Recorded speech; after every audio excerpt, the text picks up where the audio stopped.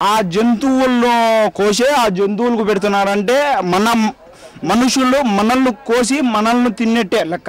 దేవాలయానికి వదిలిన ఆవులను మనం గడ్డి మేయలేక నీళ్ళు మేపలేక వాటి పరిస్థితి చాలా ఘోరంగా ఉందంటే చాలా చాలా తప్పది. గోవుల పట్ల నిర్లక్ష్యంగా వ్యవహరిస్తున్న దేవాదాయ శాఖ అధికారుల తీరుపై మండిపడుతున్నారు బీజేపీ నేతలు. దాతలిచ్చిన గోవులు ఏదైతే వీటికి సరైన పశుగ్రాసం లేక అక్కడ చాలా బక్క చిక్కి చాలా ఇబ్బందికర పరిస్థితి. అక్కడ ఉన్న గోవులను మేపే వాళ్ళు కూడా అక్కడ కొంతమంది ముఠాగా ఏర్పడి వాటిని కటికలకు తరలించడం గోవధశాలకు తరలించడం జరుగుతూ ఉంది. దీని మీద ప్రభుత్వం వెంటనే చర్య తీసుకోవాలి. వీటికి ఈ గోశాలలకు ప్రభుత్వం వెంటనే పశుగ్రాసం పంపించాలి. ఇప్పటికైనా దేవాదాయ శాఖ ఉన్నతాధికారులు స్పందించి గోవుల సంరక్షణకు తగు ఏర్పాట్లు చేయాలని కోరుతున్నారు భక్తులు.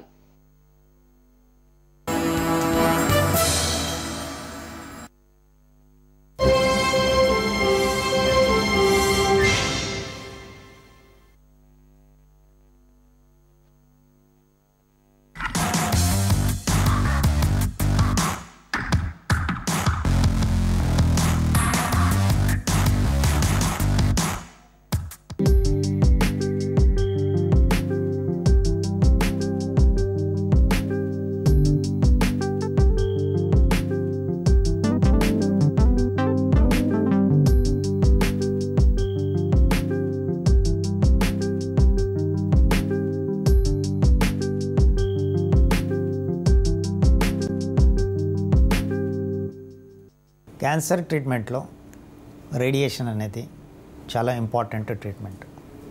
సో ఈ రేడియేషన్కు సంబంధించిన స్పెషాలిటీని రేడియేషన్ ఆంకాలజీ అంటాం. పాత రోజుల్లో రేడియేషన్ నుంచి చాలా సైడ్ ఎఫెక్ట్స్ వచ్చాయి.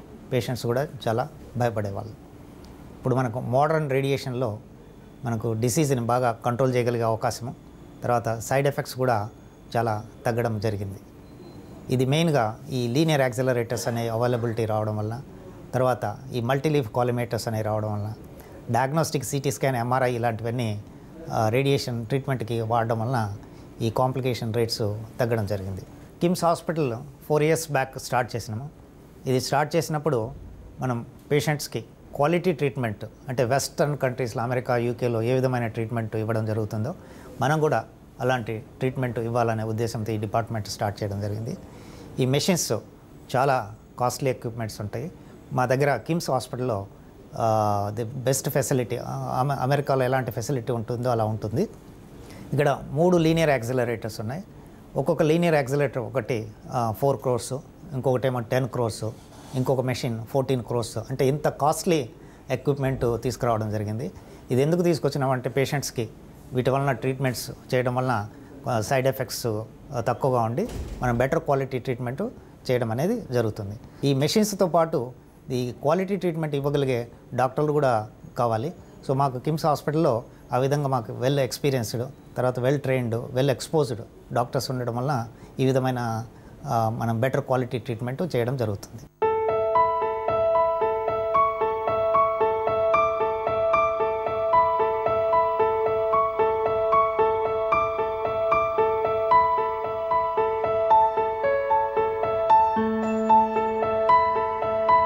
నా పేరు సక్కుబాయి మా పెబ్బేరు.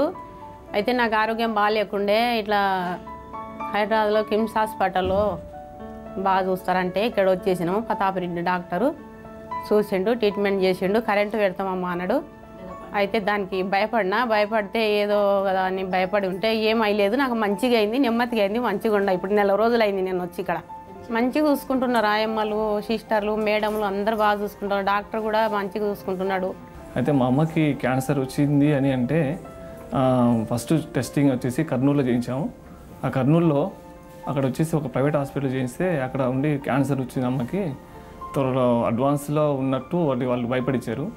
అది తర్వాత తెలిసింది మాకు మా రిలేటివ్స్ అతను ఒక అతను మా బాబాయ్ ఎట్లా ఉంటే చెన్నైకి పంపించాము. చెన్నై నుంచి అక్కడ ఉండి డాక్టర్స్ ఉండి మీకు మంచి హాస్పిటల్ వెళ్ళాలంటే కీమ్స్ హాస్పిటల్కి వెళ్ళండి. మన సికింద్రాబాద్ అక్కడ ఉంటుంది మినిస్టర్ రోడ్లో. అక్కడికి వెళ్ళి ట్రీట్మెంట్ చేసుకోండి చాలా బాగోతుంది. ఇలాంటిది ఏం లేదు. మీరు బెటర్ క్యూర్ అవుతారు అని అన్నారు. ఇక్కడ మేము హెడ్ మన హెడ్ హెచ్ఓడి అయినటువంటి ప్రతాప్ రెడ్డి సారు మనకు చాలా మంచిగా ట్రీట్మెంట్ జరిగింది. చాలా ఆప్యాయంగా మాకు పలకరించి మీకు ఎలాంటి ఇబ్బంది ఉండదు. మీకు మీకు పరీక్షలు చేసాము మీకు ఎలాంటి ఇబ్బంది లేదు. మీకు మంచి క్యూర్ అవుతుందని చెప్పారు. కాబట్టి మేము ఇక్కడ హాస్పిటల్లో ఒక నెల రోజుల నుంచి అమ్మకు ట్రీట్మెంట్ జరుగుతూ ఉంది. రోజు day by day day by day లేకుండా డైలీ జరుగుతూ ఉంది. ట్రీట్మెంట్ మాత్రం ఎక్సలెంట్గానే ఉంది.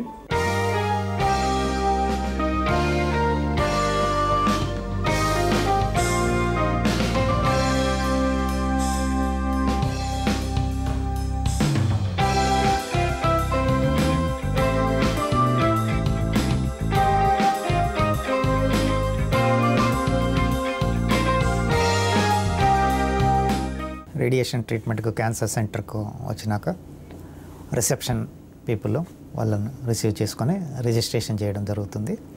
ఆ తర్వాత కన్సల్టెంట్స్ దగ్గరికి పేషెంట్స్ రావడం అవుతుంది. సో పేషెంట్స్ని ఎగ్జామిన్ చేసిన తర్వాత పేషెంట్కి సంబంధించిన జబ్బు గురించి ట్రీట్మెంట్స్ గురించి తర్వాత వాటి నుంచి వచ్చే బెనిఫిట్స్ ప్రాబ్లమ్స్ ఇలాంటివన్నీ కూడా పేషెంట్తోనూ పేషెంట్ అటెండెంట్స్తోనే డిస్కస్ చేయడం జరుగుతుంది. వాళ్ళు పేషెంట్కు ట్రీట్మెంట్ ఓకే అన్న తర్వాత మనం పేషెంట్ని ఒక ఇమ్మొబలైజేషన్ అనే ఒక డివైస్ చేస్తాము. దాంతో ఏంటంటే పేషెంట్ సేమ్ పొజిషన్లో ప్రతిరోజు రేడియేషన్ ట్రీట్మెంట్ తీసుకుంటప్పుడు అదే పొజిషన్లో ఉండాలా దాని కొరకు ఇమ్మొబలైజేషన్ అనే డివైస్ చేస్తాం దాని తర్వాత మనము ప్లానింగ్ సిటీ స్కాన్ అని చేస్తాము. ప్లానింగ్ సిటీ స్కాన్లో మామూలుగా సిటీ స్కాన్ చేస్తాము విత్ కాంట్రాస్ట్. లేదంటే ఒక్కోసారి మనము చాలా మటుకి పెట్ స్కాన్ కూడా చేస్తాము. పెట్ స్కాన్లో మనకు సిటీ స్కాన్లో ట్యూమర్ కనపడ ఒక స్వెల్లింగ్ లాంటిది కానీ గడ్డ లాంటిది కానీ కనపడవచ్చు అయితే అది క్యాన్సర్కి సంబంధించింది అవునా కాదా అనే దాని కొరకు ఫర్దర్గా మనం పెట్ స్కాన్ అనేది చేసుకుంటే దాంట్లో మనకు ట్యూమర్ దగ్గర పికప్ అవుతుంది. ఈ ఈ కంప్యూటర్లో మీరు చూడవచ్చు అక్కడ వైట్ బ్యాక్గ్రౌండ్ ఉండేది ఆ, ట్యూమరు. సో ఆ ట్యూమర్ అది మనము స్కాన్స్ అయిపోయిన తర్వాత ఈ కంప్యూటర్కి సిటీ స్కాన్ నుంచి ఇక్కడికి ఎక్స్పోర్ట్ అవుతుంది. ఇక్కడ మేము రేడియేషన్ ఆంకాలజిస్ట్లమే ఆ ట్యూమర్ని ఐడెంటిఫై చేస్తూ వంద నుంచి నూట యాభై వరకు స్లైసెస్ ఆఫ్ స్కాన్స్ ఉంటాయి. సో ప్రతి స్లైస్లోనూ ట్యూమర్ ఎక్కడ ఉన్నది సో దాని పక్కన ఇంపార్టెంట్ నార్మల్ స్ట్రక్చర్స్ ఎక్కడ ఉన్నాయి అనేది మనం మార్క్ చేస్తాం అనమాట అది మార్క్ చేసిన తర్వాత దానికి ఒక్కొక్క డిఫరెంట్ ఏరియాకి డిఫరెంట్ డోస్ ఇస్తాం. అంటే ట్యూమర్కి ఒక డోస్ ఇస్తాము. తర్వాత పోతే నార్మల్ స్ట్రక్చర్స్కి ఒక డోస్ ఇస్తాము. మళ్ళీ కొంచెం హై రిస్క్ ఏరియాస్ అని ఉంటాయి దానికి ఒక డిఫరెంట్ డోస్ ఇస్తాము. లో రిస్క్ ఏరియాస్ అని ఉంటుంది దానికి ఒక డిఫరెంట్ డోస్ ఇస్తాము. అంటే పాత రోజుల్లో ఇలా చేసే ఫెసిలిటీ లేదు. సో ఇప్పుడు మోడర్న్ రేడియేషన్ థెరపీలో ఈ విధంగా చేయడం జరుగుతుంది. ఇలా చేసి దీనికి ఐఎంఆర్టీ అని కానీ అంటే ఇంటెన్సిటీ మాడ్యులేటెడ్ రేడియేషన్ థెరపీ అంటే మనకు ట్రీట్మెంట్ ఎక్కడైతే మనము రేడియేషన్ని మాడ్యులేట్ చేయొచ్చు అంటే దాని ఇంటెన్సిటీని చేంజ్ చేసుకోవచ్చు. అందుకనే ఇది ఇంటెన్సిటీ మాడ్యులేటెడ్ రేడియేషన్ థెరపీ అంటారు. దీనికి నెక్స్ట్ ఫర్దర్గా ర్యాపిడ్ ఆర్క్ అనే ట్రీట్మెంట్ చేస్తారనమాట ఐఎంఆర్టీ అనేది పర్టికులర్ యాంగిల్స్లో మెషిన్ ఆగి ఉంటుంది. అట్లా రేడియేషన్ ఇస్తుంది. ర్యాపిడ్ ఆర్క్ అనే దాంట్లో ఈ ర్యాపిడ్ ఆర్క్ అని కానీ వాల్యూమెట్రిక్ ఆర్క్ థెరపీ అనే దాంట్లో machine three hundred and sixty డిగ్రీస్లో తిరుగుతున్నప్పుడు రేడియేషన్ ఇవ్వడం జరుగుతుంది అనమాట సో ఐఎంఆర్టీ కంటే ర్యాపిడ్ ఆర్క్ వాల్యూమెట్రిక్ ఆర్క్ థెరపీలో కొంచెం ఇంకా కొంచెం బెటర్ డోసు డిస్ట్రిబ్యూషన్ ఉంటుందన్నమాట. సో ఇది ఈ ప్రాసెస్ అయిపోయిన తర్వాత దెన్ మనము పేషెంట్ని ట్రీట్మెంట్కి టేకప్ చేస్తాం. సో ట్రీట్మెంట్ మనం ఎలా చేస్తాము? మనకి కిమ్స్లో ఎలాంటి ఎక్విప్మెంట్ ఉన్నది? ఏ మెషిన్స్ ఉన్నాయి అనేది ఇప్పుడు నేను ఫర్దర్గా మనకు చూపిస్తాను.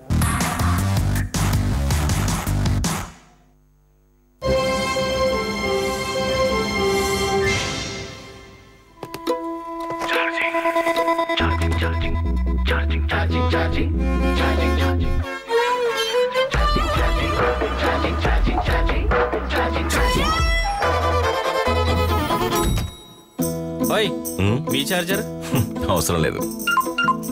ఇది చూడు కొత్త సామ్సంగ్ జెడ్ వన్. దీని అల్ట్రా పవర్ సేవింగ్ లక్షణం ఇస్తుంది బ్యాటరీకి అమోఘమైన జీవితకాలాన్ని మరియు జాయ్ బాక్స్ ఇస్తుంది నాన్ స్టాప్ ఎంటర్టైన్మెంట్ కొత్త Samsung Z one smart phone ఇప్పుడు బ్యాటరీ మరియు వినోదం రెండు మీతోనే. అలజడులు చలిగిలులు హృదయంలో మొదలు. కొసగొసలు పదనిసలు పెదవులలో మొదలు. వేచింది చాలు ఇలా ఇన్ని నాడు దాచేందుకు ఆశలు చలిగిలులు హృదయంలో మొదలు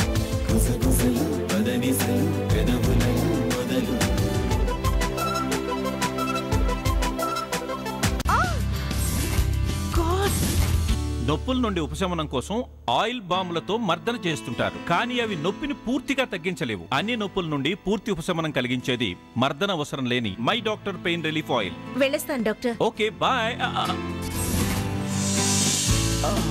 మీరు కూడానా? నేను మీ అందరికీ డాక్టర్ని. కానీ నా నొప్పులన్నింటికీ నా డాక్టర్ మాత్రం my doctor pain relief oil. భుజం మెడ మోకాళ్ళు నడుము ఎటువంటి నొప్పులనైనా చిటికెలో మాయం చేస్తుంది my doctor pain relief oil. ఒకరోజు వర్షంలో ఫుట్బాల్ ఆడుతుంటే బాల్ గోల్ మిస్ అయ్యి బస్ స్టాప్ దగ్గర ఉన్న ఒక అమ్మాయికి తగిలింది.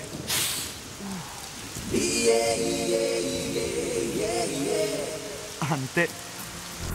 పడ్డాను. పడిపోయాను.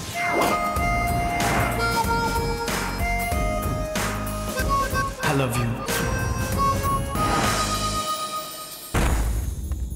ప్రకాశం యొక్క విలువని మేము బాగా అర్థం చేసుకున్నాం. అందుకే మీ మనసులో మూలమూల కాంతివంతం చేసే బాధ్యతని మేము తీసుకున్నాం. హెచ్పిఎల్ ఎల్ఈడి లైటింగ్ ఇప్పుడు కాంతులు చిందిస్తాయి సంతోషాలు.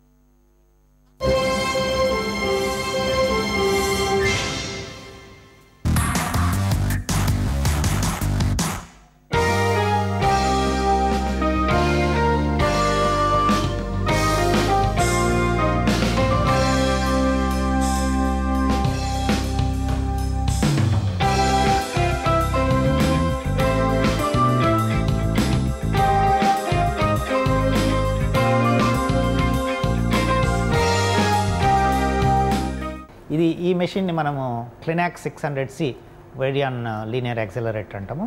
దీనికి hundred and twenty multi leaf collimators ఉన్నాయి. ఈ central area five millimetres collimation size ఉంటుంది.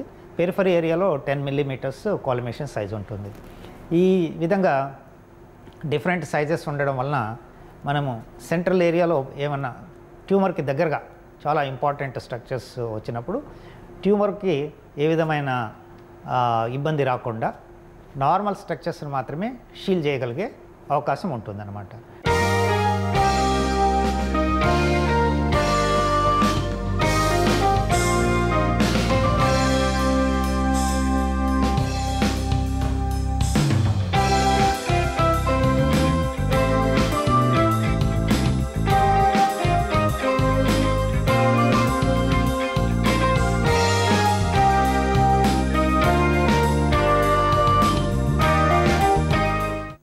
This is the IX Clinac IX అంటాం అనమాట సో ఇది head head of the machine linear accelerator ఇదేమో కేవీ ఇమేజింగ్ అంటాం అనమాట సో దీని దీంట్లో ఎక్స్రే ఉంటుంది.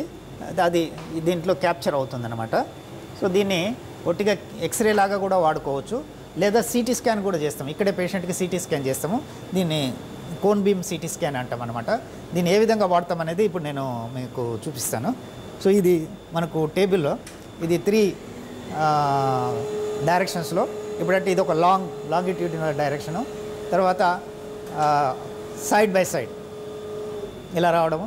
తర్వాత అప్ అండ్ డౌన్ అనమాట సో ఇలాగా త్రీ త్రీ డైరెక్షన్స్ ఇది సూపరో ఇన్ఫీరియర్లు అనమాట సో దిస్ ఈజ్ గ్యా గ్యాంట్రీ రొటేషన్ అంటాము. Three hundred and sixty degrees ఇక్కడనేమో మనకు ఫీల్డ్ సైజ్ అది వస్తుంది. ఆటోమేటిక్గా ఇది మనం కంప్యూటర్లో ఏదైతే ప్లాన్ చేస్తామో అదే వస్తుంది అనమాట ఎవరు కూడా దాన్ని చేంజ్ చేసేదానికి ఉండదు. ఇది ఫిజిషియన్ అంటే రేడియేషన్ ఆంకాలజిస్ట్ పాస్వర్డ్ ప్రొటెక్టెడ్ ఉంటుందన్నమాట. సో మనం పర్టికులర్ పేషెంట్కి పర్టికులర్ ట్రీట్మెంట్ మనం ఓకే అన్న తర్వాత దాన్ని ఎవరు చేంజ్ చేయలేరు. మ్యా హ్యూమన్ ఎర్రర్ అనేది జరగదనమాట ఇప్పుడు ఇక్కడ మీరు చూడండి ఇవి మూవ్ అవుతున్నాయి అనమాట సో వీటిను మల్టీ లీఫ్ కాలిమేటర్స్ అంటాం. ఇవి హండ్రెడ్ అండ్ ట్వంటీ ఉంటాయి ఈ మెషిన్కి.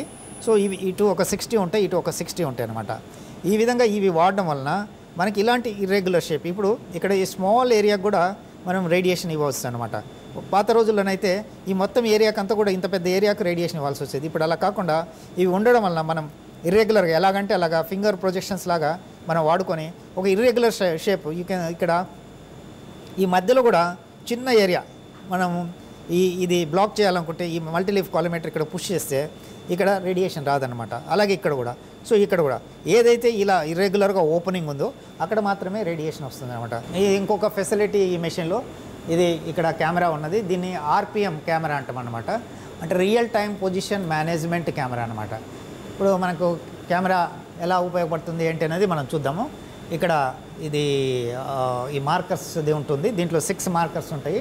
ఆ సిక్స్ మార్కర్స్ అక్కడ మనకు కెమెరాలో ఇది క్యాచ్ చేయడం వల్ల కింద మానిటర్లో మనం అవి చూడగలుగుతున్నాము. ఇవేంటంటే రెస్పిరేషన్ మూమెంట్ని బట్టి ఇది పైకి కిందకి మూవ్ అవుతుంటుంది అనమాట ఇలా ఇలా ఇలాగా మూవ్ అవుతుంటుంది పైకి కిందకి. సో మన రేడియేషన్ డెలివరీ కూడా ఇప్పుడు ఇలా మూవ్ అవుతున్నా కూడా ఓ పర్టికులర్ మూమెంట్లో ఉన్నప్పుడు మాత్రమే రేడియేషన్ డెలివరీ చేస్తాం అనమాట ఆ పర్టికులర్ మూమెంట్లో ఉండేదానికి ఏమిటంటే మనం మామూలుగా రెస్పిరేషన్ తీసుకుంటుంటే అది పైకి కిందికి వెళ్తుంటుంది. కానీ మనం పేషెంట్ని రెస్పిరేషన్ హోల్డ్ చేయమంటాం అనమాట సో రెస్పిరేషన్ హోల్డ్ చేసినప్పుడు ఈ ఈ మార్కర్స్ ఇలాగా కనపడతాయి. సో అప్పుడు ఆ పర్టికులర్ టైంలో మనం రేడియేషన్ ఇవ్వగలుగుతాం అనమాట సో దీన్ని రియల్ టైం పొజిషన్ మేనేజ్మెంట్ అంటాం అనమాట lung tumours liver tumours pancreas tumours so ఏవైతే రెస్పిరేషన్తో మూవ్ అవుతాయో వాటన్నిటి కూడా ఈ విధంగా వాడతాము.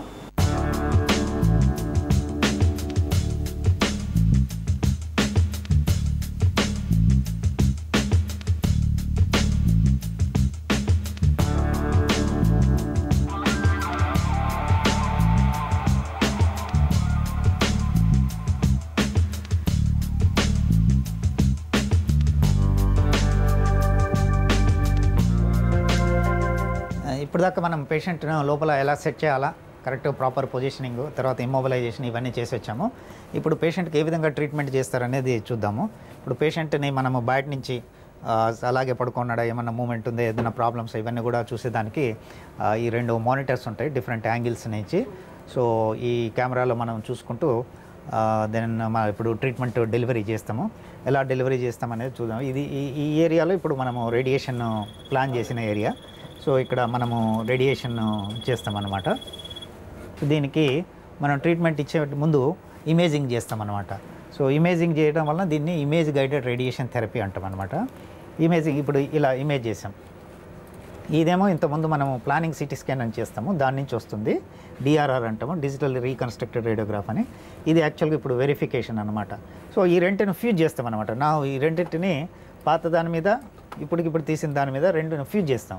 ఫ్యూజ్ చేసి ఇలా చూస్తాం అనమాట రెండు ఇప్పుడు ఇక్కడ స్కాల్ప్ రెండు మా మార్జిన్స్ మ్యాచ్ అయినాయా లేదా అని చెప్పేసి ఇలాగ చూస్తాం అనమాట సో ఇవి ఇవి రెండు కూడా ఏమాత్రం తేడా లేదు. ఇదేమో ఇప్పుడు తీసింది అంటే పేషెంట్ పొజిషన్ ఎగ్జాక్ట్గా సేమ్ మనం ఏ విధంగా ట్రీట్మెంట్ ప్లాన్ చేసామో అదే విధంగా పడుకొని ఉన్నట్టు అనమాట సో ఇది రెండు యాంగిల్స్ నుంచి చేస్తాం. ఇప్పుడు ఫ్రంట్ నుంచి చేసాము తర్వాత ఇప్పుడు లేటరల్ వ్యూ అంటాము. ఇప్పుడు మెషిన్ ఇలా తిరుగుతుంది చూడండి. ఇక్కడ ఈ మానిటర్లో మీరు అబ్జర్వ్ చేయొచ్చు.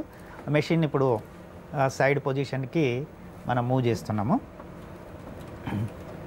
సో ఇప్పుడు ఈ ఇమేజింగ్ వచ్చిందనమాట ఇప్పుడు చేసామన్నమాట దీన్ని. ఇప్పుడు దీన్ని దీనికి ఫ్యూజ్ చేస్తాం రెండు. ఇక్కడ చూడండి ఇది ఆపరేషన్ చేసిన ఇది అనమాట సో ఇదేమో ఇంతకుముందు ఉన్నది ఇప్పుడు కూడా ఇక్కడ మ్యాచ్ అవుతుంది అనమాట ఎగ్జాక్ట్గా అంటే మనం ట్రీట్మెంట్ ఏమైతే ప్లాన్ చేస్తామో అది ఎగ్జాక్ట్గా ఇట్ ఈస్ హ్యాపెనింగ్ అది పేషెంట్ మీద జరుగుతుంది. సో దీన్ని ప్రెసిషన్ రేడియేషన్ థెరపీ అంటారు అనమాట సో ఇది ఇది ఇలాగ పొజిషనింగ్ ఉంటుందన్నమాట. ఇవి మల్టీలీఫ్ కాలిమేటర్స్ అంటాం. ఇర్రెగ్యులర్ షేప్ అనమాట ఓల్డెన్ డేస్లో ఈ వీటిని మల్టీలీఫ్ కాలిమేటర్స్ అంటాం.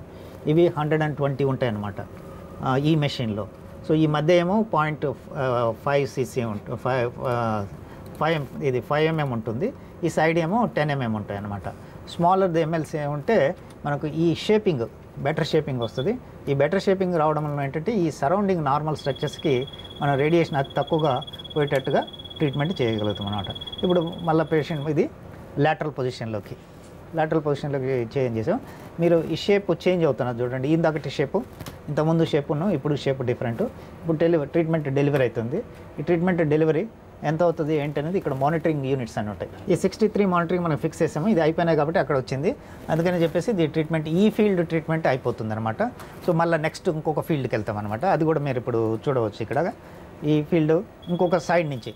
సో ఇప్పుడు మెషిన్ యాంగిల్ మారింది. సో దీన్ని గ్యాంట్రీ యాంగిల్ అంటాం అనమాట ఈ ఈ బ- డైరెక్షన్లో వెళ్ళేటప్పుడు ఏమేమి ఇంపార్టెంట్ స్ట్రక్చర్స్ ఉంటాయో అవన్నీ కూడా వీటి వలన బ్లాక్ చేసేస్తాం. సో అందుకని అక్కడ రేడియేషన్ తక్కువ వెళ్తుంది. ఏదైతే ఈ వైట్ ఏరియా ఉందో అది మాత్రమే రేడియేషన్ డెలివరీ అవుతుంది అనమాట ఈ ఈ ఫీల్డ్కి నైంటీ మానిటరింగ్ యూనిట్స్ ఉన్నాయన్నమాట. సో ఆ నైంటీ మానిటరింగ్స్ ఫిక్స్ చేసినప్పుడు ఆటోమేటిక్గా ఎప్పుడైతే నైంటీ అయిపోతుందో అవి ఆగిపోతాయి అనమాట ఇప్పుడు మళ్ళీ ఇప్పుడు మనం ఇంకొక డిఫరెంట్ యాంగిల్కి వెళ్ళామన్నమాట ఇది కూడా మనము ఇక్కడ చూడవచ్చు. మెషిన్ ఆ విధంగా రొటేట్ చేసిన తర్వాత ఈ పర్టికులర్ యాంగిల్లో షేపింగ్ ఈ విధంగా వస్తుంది అనమాట సో ఒక్కొక్క యాంగిల్లో అది రేడియేషన్ వెళ్ళే డైరెక్షన్ బట్టి ఈ షేపింగ్ మారిపోతుంది అనమాట ఈ పర్టికులర్ దీనికి సెవెంటీ సిక్స్ మానిటరింగ్ యూనిట్స్ ఉన్నాయన్నమాట. సో సెవెంటీ సిక్స్ ఫిక్స్ చేసినాము. ఇప్పుడు రెడీగా పోతుంది అనమాట ఇప్పుడు ఈ పేషెంట్ ట్రీట్మెంట్ అయిపోయినది. సో మనం పేషెంట్ను రిలీజ్ చేస్తాం అనమాట ఈ రేడియేషన్ అనేది డైలీ ఇస్తాం అనమాట సో వీక్లీ ఫైవ్ టైమ్స్. కొన్ని పేషెంట్లకేమో రెండు వారాలు ఇస్తాము మూడు వారాలు ఇస్తాము నాలుగు వారాలు ఇస్తాము.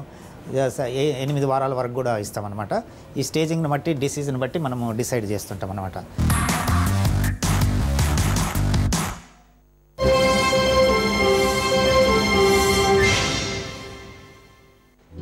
I love Amrit even I love Amrit ninety nine acres dot కామ్లో అన్ని ఆప్షన్స్ చెక్అౌట్ చేయకపోతే పర్ఫెక్ట్ ఇల్లుని ఎలా సెటిల్ చేయగలం? Ninety nine acres dot com అన్ని చూడండి ఆ తర్వాతే ఇల్లు తీసుకోండి.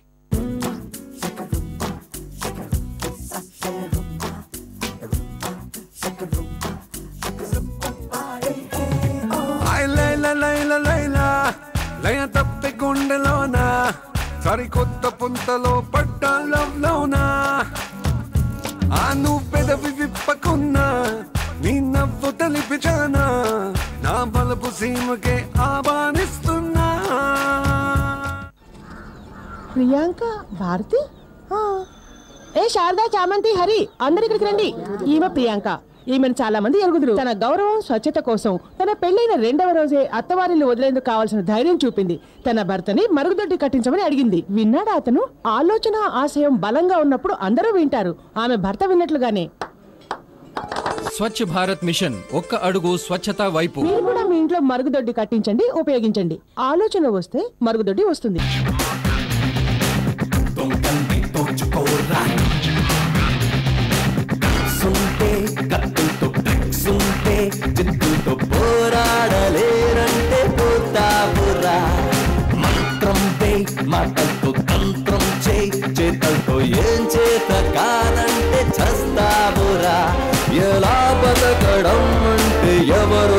నేర్పాలి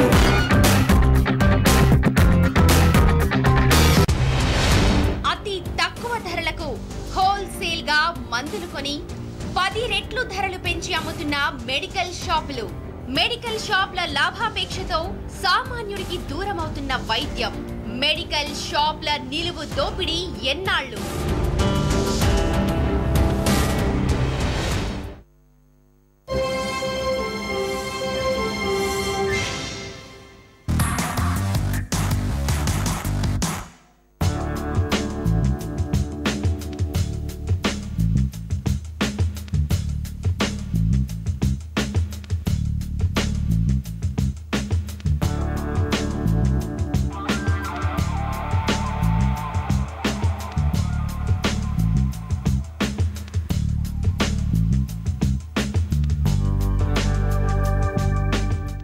సో ఈ పేషెంట్ సంబంధించినంతవరకు ఇది head and neck cancer so ఆ విధంగా మనం ఇమోబిలైజేషన్ చేసిన తర్వాత ఈ పేషెంట్కి చాలా పెద్ద హ్యూజ్ ట్యూమర్ ఉండేది. అప్పుడు గాలి తీసుకోవడం కూడా చాలా కష్టంగా ఉండేది. సో మనం ఈ మాస్క్ పెట్టేసి బయటికి వెళ్ళడం వల్ల ఒక్కోసారి రెస్పిరేషన్ డిఫికల్టీ అవుతుంది. అందుకని చెప్పేసి మనం ఈ పర్టికులర్ ఈ పల్స్ ఆక్సిమీటర్ అనే ఒక ఇన్స్ట్రుమెంట్ వాడతామన్నమాట. సో ఈ ఇన్స్ట్రుమెంట్ పేషెంట్కి ఇలాగా క్లిప్ పెడతాము. దీని ద్వారా మనకు ఇక్కడ మా మానిటర్లో ఈ ఆక్సిజన్ సప్లై ఎట్లా ఉంది ఏమన్నా రెస్పిరేటరీ డిఫికల్ట్ ఉందా పల్స్ ఎలా ఉంది అనేది కూడా మనం దీంట్లో మానిటర్ చేసుకోవడం వలన పేషెంట్కు సేఫ్టీ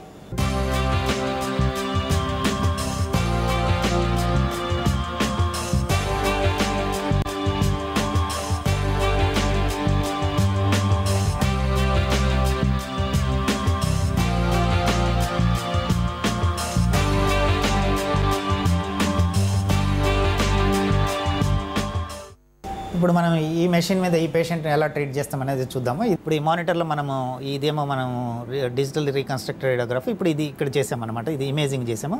అక్కడ చేసిన ఇమేజింగ్ ఏమో ఎంవి ఇమేజింగ్ అంటాం ఇదేమో కేవీ ఇమేజింగ్ అంటాం అనమాట సో దీన్ని ఇప్పుడు మెర్జ్ మెర్జ్ చేస్తాం అనమాట సో దీ దీంట్లోకి ఫిక్స్ ఫ్యూజ్ చేస్తామన్నమాట. సో అలా మెర్జ్ చేసిన తర్వాత మనం కలర్ నుంచి అయినా చూడొచ్చు. దాన్ని కొంచెం యూ మేక్ ఇట్ డిఫ్ కొంచెం మూవ్ చేయి. ఓకే రైట్ నా ఇది మ్యాచ్ అవుతుంది చూడండి. ఆ- ఆ బోన్కి ఈ బోన్కి మ్యాచ్ అవుతుంది. సో మనకు లేదంటే ఇప్పుడు వేరే విధంగా కూడా అప్రిషియేట్ చేసేదానికి ఇప్పుడు ఈ బోన్ రెండు ఈ సీ ద డిఫరెన్స్. ఈ ఇదేమో ఇక్కడ ఉంది ఇదేమో ఇక్కడ ఉంది. అంటే ఇంటెన్షనల్గా మనం చేస్తున్నాం అనమాట సో ఇది by by any chance patient position కనుక తేడా వస్తే మనం ఇక్కడ అడ్జస్ట్ చేసుకోవచ్చు. ఇప్పుడు నేను దీన్ని అడ్జస్ట్ చేసిన చేసిన అన్నమాట. సో దీన్ని బోన్ టు బోన్ మ్యాచింగ్ అంటాం అనమాట సో మనకు బోన్ టు బోన్ మ్యాచింగే కాకుండా సాఫ్ట్ టిష్యూ మ్యాచింగ్ అవసరమైనప్పుడు మనము సిబిసిటీ స్కాన్ అనేది చేస్తాం అనమాట ఇప్పుడు ఇందాక మనం లాటరల్ తీసాము. ఇప్పుడు ఏపీ తీసామన్నమాట సో అది కలర్లో కూడా మనము మ్యాచ్ చేసుకోవచ్చు. లేదా బ్లాక్ అండ్ వైట్ ప్రతి ఎప్పుడు తీసినా కూడా మనం వెరిఫికేషన్ చేయాలి. దట్ ఈ చాలా ఇంపార్టెంట్ అనమాట సో మనకు ఒకటి రెండు మూడు మిల్లీమీటర్స్ కూడా మనము డిఫరెన్స్ పెద్దగా యాక్సెప్ట్ చేయమన్నమాట. లెస్ దాన్ వన్ మిల్లీమీటర్ అయితే తప్పితే ఇప్పుడు ఈ ఈ ఈ బోను ఈ- ఇక్కడ ఈ బోను రెండు మ్యాచ్ అవుతున్నాయి చూడండి అన్ని చోట్ల కూడా. అలాగే ఇప్పుడు తీసుకుంటే ఈ కనుబొమ్మల పైన ఉన్నటువంటి ఈ బోను ఈ బోను రెండు మ్యాచ్ చేస్తున్నాయి. అలాగే ఈ కళ్ళు అనమాట ఇప్పుడు సిటీ స్కాన్ ఎలా చేస్తారనేది మనము మానిటర్లో చూసాము. సి- ఈ ఈ బ్లాక్ ఇదేమో ఈ- ఈ బ్లాక్ కలర్ది ఉండేదేమో ఇప్పుడు చేసిన సిటీ స్కాన్. ఇది ఒరిజినల్గా సిటీ చేసిన సిటీ స్కాన్ అనమాట సో మనం చూడండి ఈ bone to bone bone match అవుతుంది చూడండి. ఈ విధంగా మ్యాచింగ్ ఎగ్జాక్ట్గా మ్యాచింగ్ అవుతుంది అనమాట అలాగే ఇది త్రీ వ్యూస్లో చూస్తామన్నమాట. ఇది ఇంకొక వ్యూలో ఇక్కడ బోన్ చూడండి ఎగ్జాక్ట్గా రెండు బోన్స్ కూడా మ్యాచ్ అయిపోతున్నాయి అనమాట ఎక్కడ కూడా ఏమాత్రం స్పైనల్ కార్డు కూడా డిఫరెన్స్ లేదనమాట సో ఇప్పుడు మనకి ఈ పర్టికులర్ పేషెంట్లో ట్రీట్మెంట్ ఎలా అవుతుంది అనేది ఇలాగా మనం ప్లాన్ చేసాము. ఇది ఇప్పుడు ట్రీట్మెంట్ అవుతుంది అనమాట మనకి ఎక్కడైతే ఈ వైట్ ఏరియా ఉందో అక్కడ మాత్రమే రేడియేషన్ పోతుంది. ఈ బ్లూ అన్నీ మనకి ఎక్కడైతే రేడియేషన్ వద్దనుకుంటామో అవి బ్లాక్ అయిపోతుంటాయి అనమాట సో ఇది ఎగ్జాక్ట్గా అక్కడ ఇది అక్కడ హ్యాపెన్ అవుతుంటుంది అనమాట ఇప్పుడు అక్కడ మెషిన్ చూడండి అక్కడ తిరుగుతున్నది.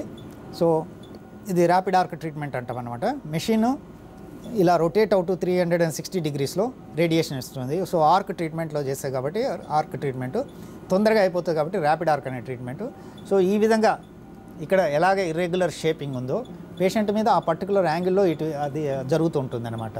సో ఇది త్రీ హండ్రెడ్ అండ్ సిక్స్టీ డిగ్రీస్లో ఈ విధంగా ఈ మల్టీ లిఫ్ మనం ఇంతకుముందు చూపించినట్టుగా అవి ఎక్కడైతే షీల్డ్ చేయాలనో అవి మూవ్ అవుతుంటాయి అనమాట ఇదంతా కూడా మనం ముందుగానే కంప్యూటర్లో ఆల్రెడీ ప్లాన్ చేసి ఉంటాం. సో మనం ఏదైతే ప్లాన్ చేస్తామో అది మాత్రమే పేషెంట్ మీద ఇట్ విల్ బి హ్యాపెనింగ్ ఇప్పటివరకు మనము పేషెంట్ను రిసీవ్ చేసుకోవడం పేషెంట్ని ఎగ్జామిన్ చేయడం పేషెంట్కి ట్రీట్మెంట్ గురించి ఎక్స్ప్లెయిన్ చేయడం తర్వాత ఎమోబిలైజేషన్ చేయడం ప్లానింగ్ సిటీ స్కాన్ చేయడం ప్లానింగ్ ఎలా చేయాలి తర్వాత పోతే ట్రీట్మెంట్ డెలివరీ ఎలా చేస్తాము అనేది మనకు క్లినాక్ సిక్స్ హండ్రెడ్ మీద ఐఎక్స్ మీద మనము చూపించడం కానీ మాట్లాడుకోవడం కానీ జరిగింది.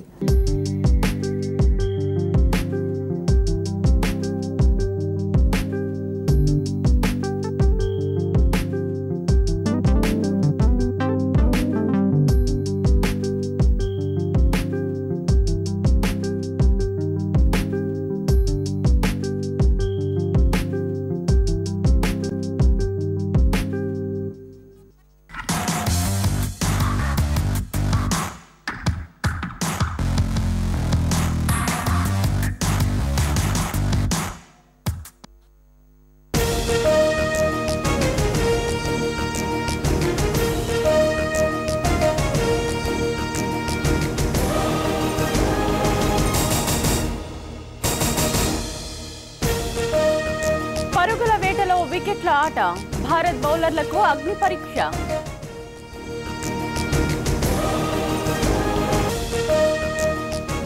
నెత్తరోడిన టపాసుల ఫ్యాక్టరీ చావు బతుకుల్లో కార్మికులు.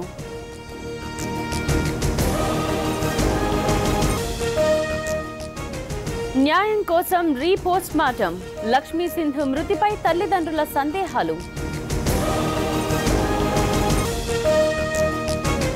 హత్య చేశారా? ఆత్మహత్యేనా? సాఫ్ట్వేర్ ఉద్యోగి మృతిపై అనుమానాలు.